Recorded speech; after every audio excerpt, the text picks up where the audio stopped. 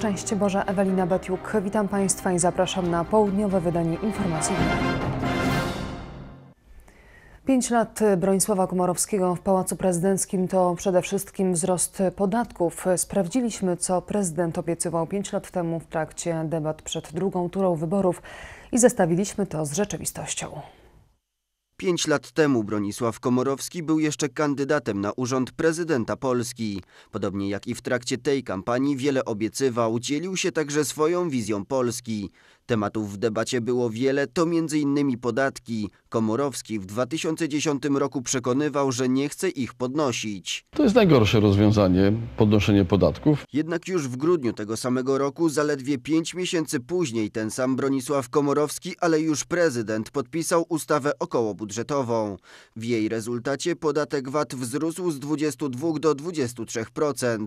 Ale to nie wszystko. Komorowski uderzył w czytelnictwo, godząc się na podwyżkę podatku VAT na książki z 0 do 5%. Za kadencji urzędującego prezydenta podwyższono akcyzę na papierosy łącznie o 18 punktów procentowych i to również zaledwie po czterech miesiącach prezydentury. Wzrosła także akcyza na paliwo i alkohol. Jakby tego było mało, podpisem Bronisława Komorowskiego podrożały ubranka dziecięce, bo z ówczesnej 8% stawki VAT podniesiono ją do poziomu 23%. Bronisław Komorowski zapowiadał także, że jest zwolennikiem darmowej służby zdrowia. Jest artykuł 68 Konstytucji Polski, który mówi w sposób wyraźny i jednoznaczny, że Polakowi, obywatelowi Polski należy się leczenie za darmo, za pieniądze publiczne.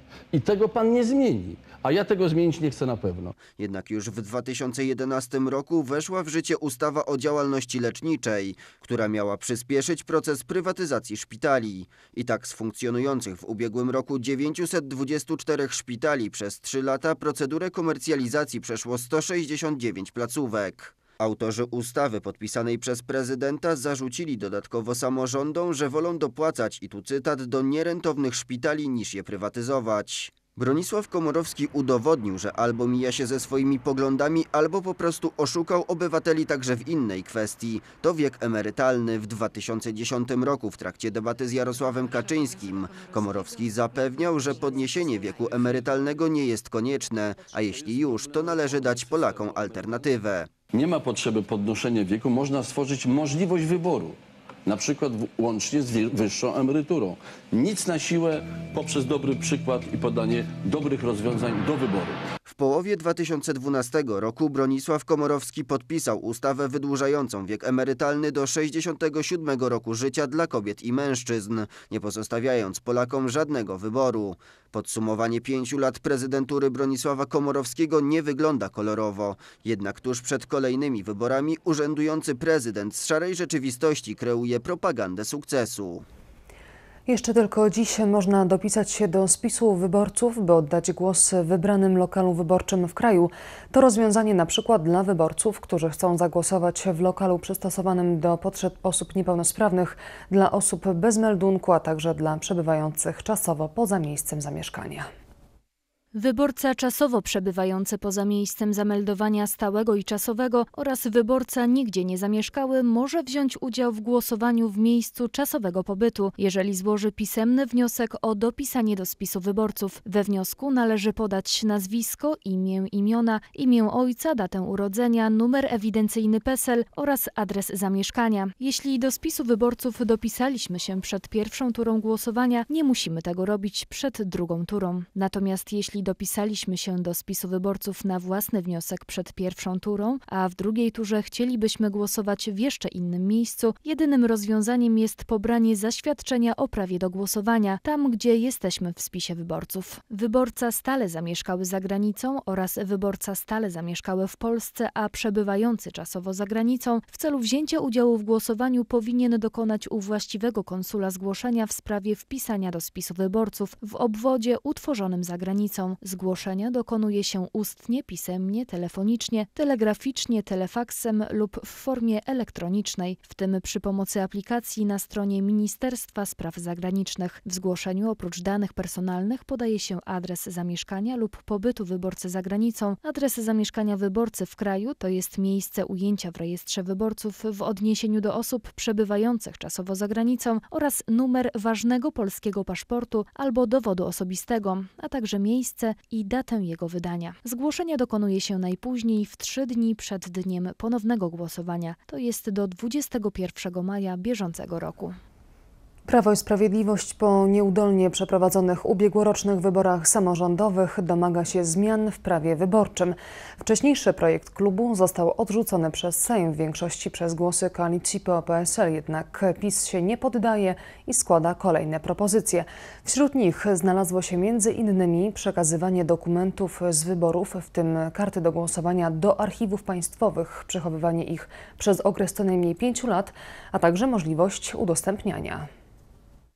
Propozycja Prawa i Sprawiedliwości zakłada, że dokumenty z wyborów byłyby przekazywane do archiwów państwowych i przechowywane tam przez co najmniej 5 lat. Projekt zakłada również możliwość ich udostępniania. Miałoby to dotyczyć także karty do głosowania. Ponadto po sporządzeniu protokołu głosowania obwodowa komisja wyborcza składałaby do opakowań zbiorczych osobno ważne, nieważne i niewydane karty do głosowania. Po dokładnym zamknięciu opakowanie zbiorcze miałoby być opieczętowane przy użyciu pieczęci komisji. Prawo i Sprawiedliwość proponuje ponadto, by wśród zadań Państwowej Komisji Wyborczej w sprawach związanych z przeprowadzaniem wyborów znalazło się sprawdzanie karty do głosowania w celu wykluczenia podejrzenia nieprawidłowości w przebiegu wyborów. Propozycje, które PiS ponownie wnosi, zostały zgłoszone również jako poprawki do prezydenckiego projektu nowelizacji kodeksu wyborczego. Sejm jednak je odrzucił. Parlamentarzyści opozycji oceniają, że przyjęcie proponowanych zmian będzie miało pozytywne skutki społeczne poprzez zwiększanie przejrzystości i rzetelności kluczowych dla państwa demokratycznego procedur wyborczych. Tymczasem w piątek Sejm uchwalił zaproponowaną przez Komorowskiego nowelizację kodeksu wyborczego, która zakłada nagrywanie prac członków komisji wyborczych, klasyfikowanie głosów nieważnych oraz wprowadzanie przezroczystych urn. To także reakcja na kontrowersje związane z ubiegłorocznymi wyborami samorządowymi. Od wczoraj obowiązują nowe, ostrzejsze przepisy dla kierowców. Przepisy, które mają być straszakiem, rzeczywiście budzą postrach. Policjanci zatrzymali już ponad 144 praw jazdy. Zgodnie z nowymi przepisami kierowcom, którzy przekroczą dozwoloną prędkość o więcej niż 50 km na godzinę w obszarze zabudowanym, prawo jazdy zostanie odebrane bezpośrednio przez kontrolującego ich policjanta. Jeśli ukarana za nadmierną prędkość osoba zostanie przyłapana na tym po raz drugi, utrata prawa jazdy zostanie wydłużona do 6 miesięcy.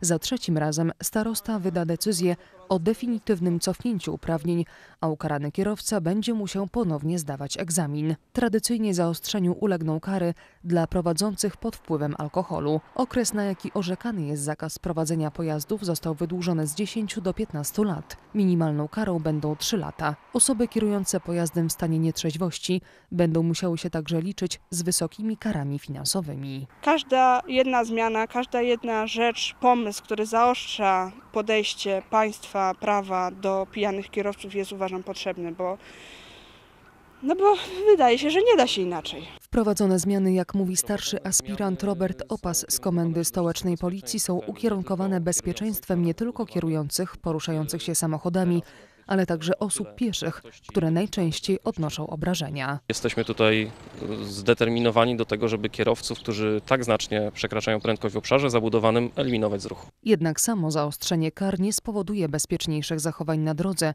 zauważa Jadwiga Bąk, psycholog transportu. Należy większy nacisk położyć na profilaktykę, na szkolenia, na to, aby były właściwe zmiany na drodze, postaw i przestrzeganie większe prawa.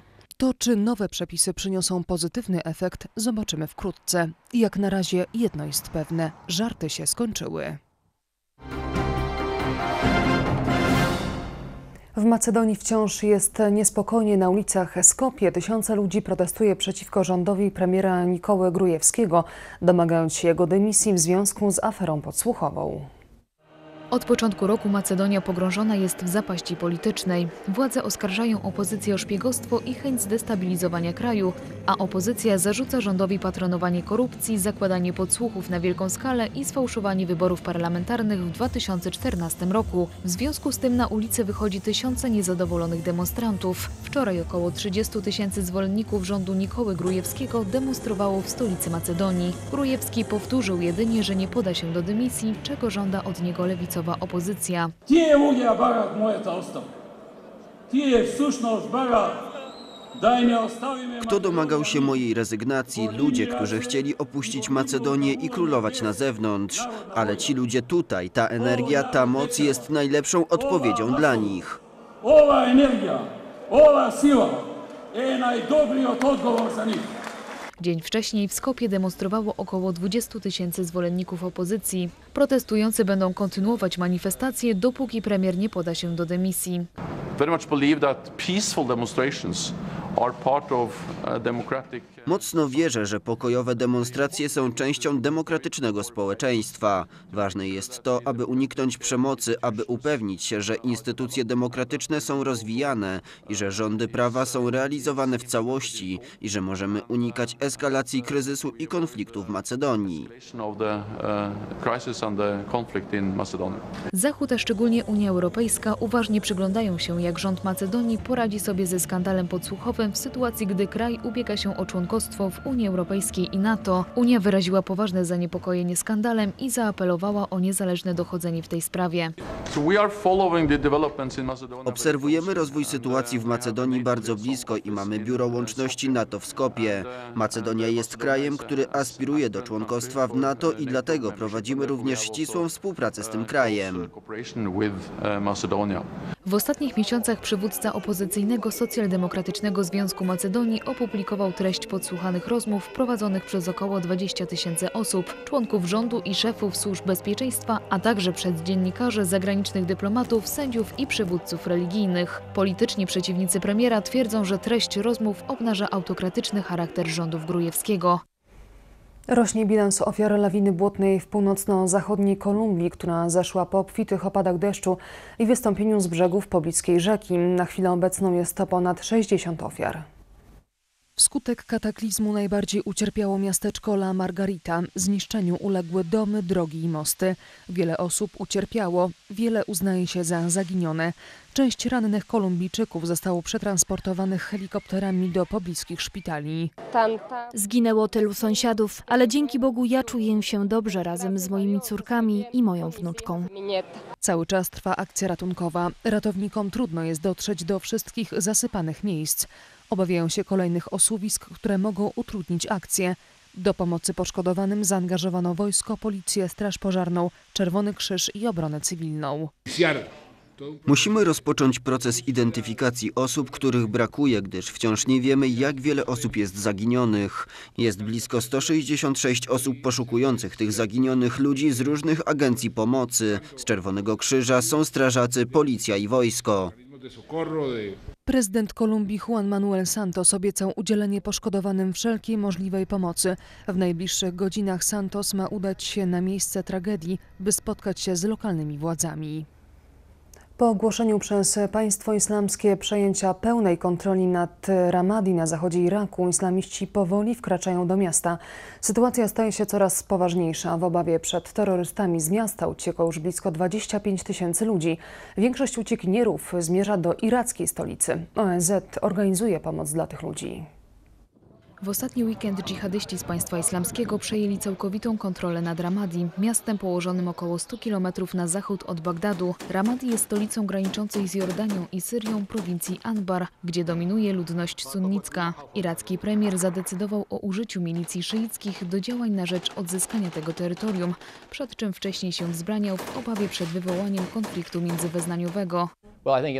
Myślę, że w dłuższej perspektywie Irakijczycy będą musieli znaleźć jakiś sposób, by odzyskać Ramadi. Może to oznaczać wykorzystanie szyickiej milicji, a to jest raczej nieupoważnione. Myślę, że to również nie odbuduje irackiej armii, a na pewno jest to proces wolniejszy niż byśmy tego chcieli. Zajęcie Ramadi przez państwo islamskie to porażka rządu w Bagdadzie. Stany Zjednoczone i koalicja pod ich wodzą zapewniają, że pomogą siłom irackim odbić to miasto.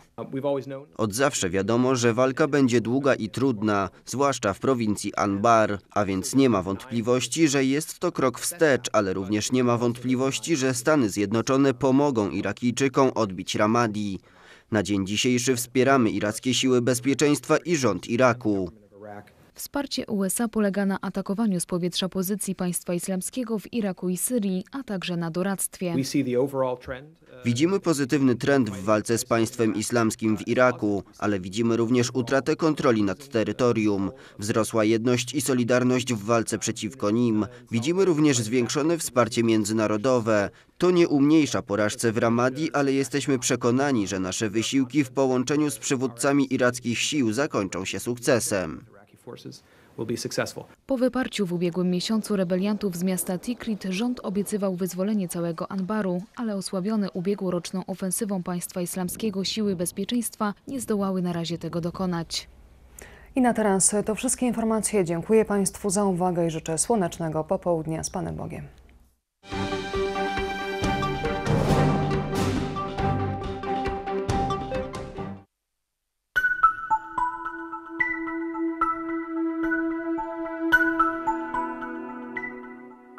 Szczęść Boże, Julita Przyczka. W naszym programie czas na prognozę pogody. W Europie dziś na ogół pogodnie i ciepło. Od 10 stopni w Moskwie, 15 w Paryżu, 24 w Atenach i Wiedniu, do 28 w Bukareszcie i Rzymie. Przelotne opady w Niemczech, w zachodniej Rosji, a także w południowej Francji. A w Polsce? Słonecznie, ale deszczowo, tylko na wschodzie i miejscami w centrum bez opadów. Na termometrach od 17 stopni na Nizinie Szczecińskiej, około 20-21 na północy i w centrum, do 24 na wschodzie, a także południu. Wiatr umiarkowany głównie z południowego zachodu. Wzrost ciśnienia na barometrach w Warszawie około 1008 hektopaskali. W tym wydaniu to już wszystko, co przygotowaliśmy dla Państwa o pogodzie. Dziękuję i życzę dobrego popołudnia z Panem Bogiem.